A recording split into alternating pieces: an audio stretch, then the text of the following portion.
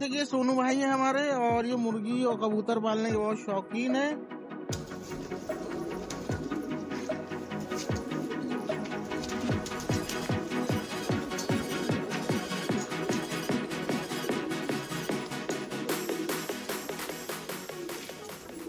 तो भाई आप कितने दिन से ये शौक रखते हैं? बचपने से। बचपने से?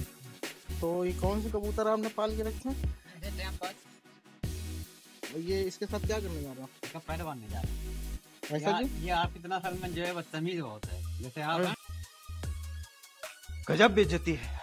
तो वैसे ये कितने कबूतर आपके पास हैं और कितने टाइम से रखे हुए आपने? कबूतर हम साल भर से रखे हैं सर यहाँ पे। हम्म, और आज जब से आ रहे हैं जी।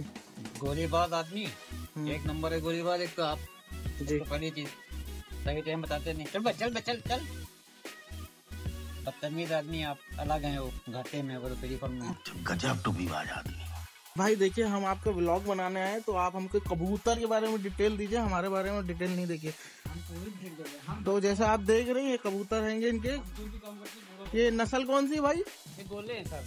गोले। हैं जी सर। एक जोड़ कितने की कम से कम होती है? जैसे आप ले पाइए आपको जा दो। बेटा।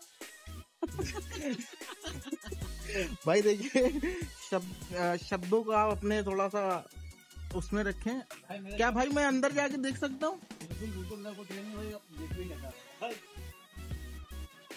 चलिए गाइस हम आपको दिखाते हैं इनके। भाई ये तीन कबूतर ये पिंजड़े में क्यों रखे हुए? क्या हो गया इनको? लकवा। कबूतर को भी लकवा मार के जाता। तो जैसे कि देखा गाइस आपने ये कबूतरों के शौकीन हमारे सोनू भाई। ये इन्होंने पूरा घर इनके लिए छोड़ के रखा हुआ है। और कितना खूबसूरत नज़ारा है। तो चलिए सोनू भाई, हम आपसे फिर मिलते हैं। खुदा हाफिज।